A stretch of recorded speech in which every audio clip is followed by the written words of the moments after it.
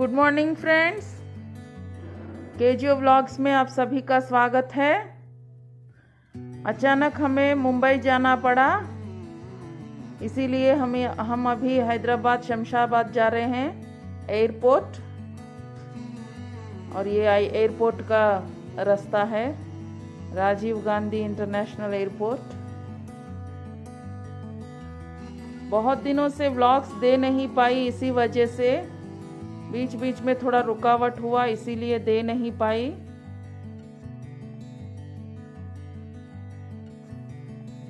Greenery बहुत ही खूबसूरत लग रही है। हम इंडिगो फ़्लाइट से मुंबई जाने वाले हैं। मैं और मेरी दीदी, हम दोनों जा रहे हैं।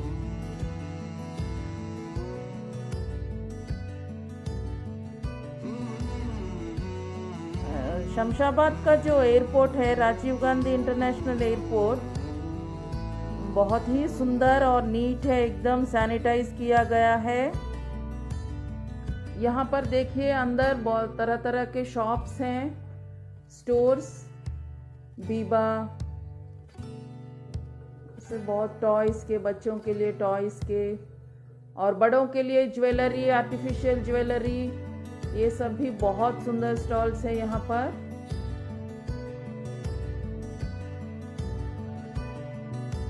एकदम नीट, हर जगह मुझे इतना नीट लगा।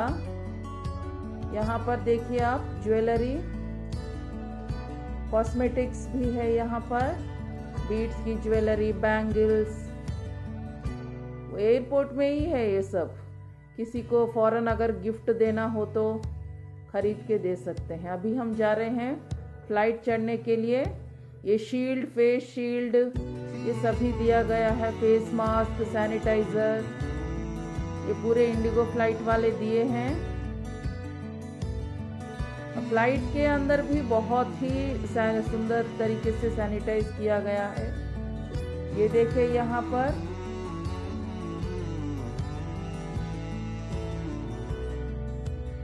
अभी हम फ़्लाइट के अंदर जाने वाले हैं। जिनका बीच का सीट होता है, उनको पीपीई किट देते हैं। तो यहाँ पर हम अंदर जा रहे हैं, देखिए। बाकी भी यहाँ पर जो फ़्लाइट है, वो भी खड़े हैं। स्पाइट्स जेट ये सब है। इसी फ़्लाइट में हम चढ़ने वाले हैं। देखिए, ये अंदर एंट्री है। ये अंदर का है। एकदम साफ़ सैनिटाइज किया गया है, एकदम NEET.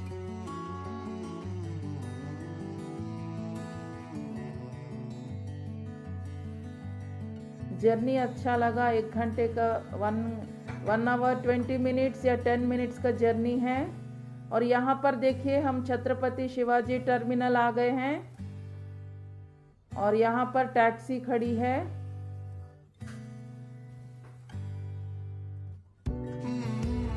Black and yellow taxi.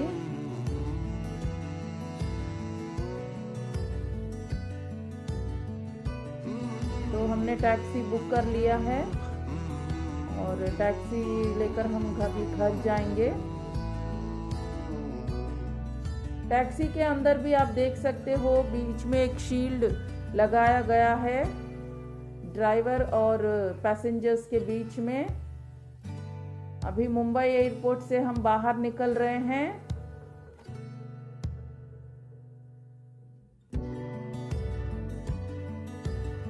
Mumbai का जो एयरपोर्ट है, वो भी बहुत ही नीट है। टैक्सी में जा रहे हैं मुंबई शहर। पहली बार आ रही हूँ मैं मुंबई। यहाँ पर ये देखिए, ये सी लिंक है। समंदर के साइड में से एक लिंक बनाया गया है, फ्लाईओवर जैसा। ये देखिए, इसे सी लिंक कहते हैं मुंबई में।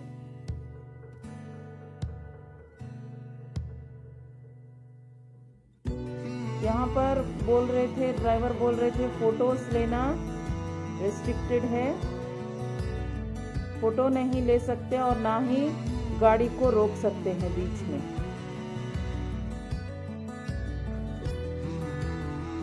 बस क्रॉस करना है सिर्फ़। उधर की गाड़ी इधर इधर की गाड़ी उधर। यहाँ भी टोल लेते हैं इसके लिए, सेवेंटी रुपीज़ टोल वसूली करते हैं। इसके ऊपर से हमें जाने से टोल भरनी पड़ती है। लेकिन समंदर का जो सीन है, वो बहुत ही खूबसूरत लगा। ठीक से समुंदर दिखाई नहीं दिया। मुंबई में पहली बार आ रही हूँ। बहुत ही ऊँचे ऊँचे बिल्डिंग्स हैं, इमारतें हैं। और यहाँ पर हमने खाना शुरू कर दिया है, रोटी और कढ़ाई पनीर। और कढ़ाई पनीर में मीठा दिया गया है। ये गुजराती एक नज़दीक साइड में एक रेस्टोरेंट है जो एक गुजराती वालों का है। वो और मतलब स्वीट डालते हैं और फ्राइड राइस में भी थोड़ा स्वीट लगा, वो ज़्यादा पसंद नहीं आया हमें। फिर भी बहुत भूख लग रही थी, इसीलिए खाना खाए।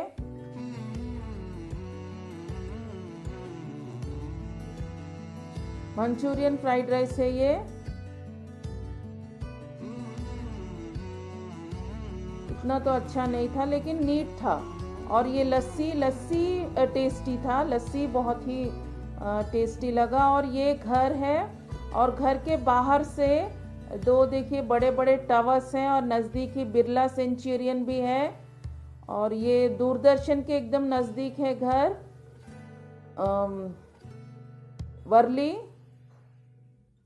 ये नेक्स्ट डे मॉर्निंग हमने मैंने वीडियो शूट किया था। और सुबह सुबह ही हमने खाना बनाना शुरू कर दिया है।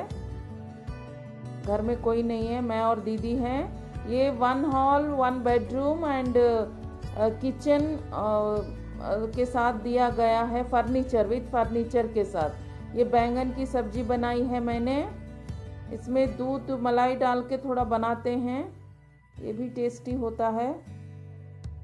और किचन में मेरी दीदी जो है वो रसम बना रही है और मेथी की दाल भी बना रही है। यहाँ पर आप देख सकते हो ये टमाटर की रसम है। और मेथी साग से दाल भी बनाया है।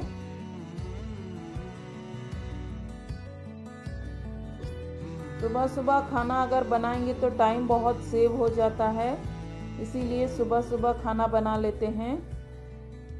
आपको तो मालूम है, मैंने पिछले ब्लॉग में कहा था, मुझे सुबह ही खाना बनाना अच्छा लगता है। क्योंकि अगर मैं दोपहर को स्टार्ट करूँगी तो ऐसा लगता है कि मैं हर वक्त खाना ही पका रही हूँ। ये देखिए, ये टू रूम ये हॉल है। यहाँ पर जो दिया गया है, ये रेंटेड हाउस परमानेंट नहीं है। यहाँ पर थोड़े काम से आए थे मेरे भैया और भाभी। तो ये था मेरा हैदराबाद से मुंबई आने का सफ़र। घर तक का। प्लीज़ मेरे चैनल को सब्सक्राइब करना और आपके दोस्तों के साथ प्लीज़ शेयर करना। Thank you for watching have a nice day bye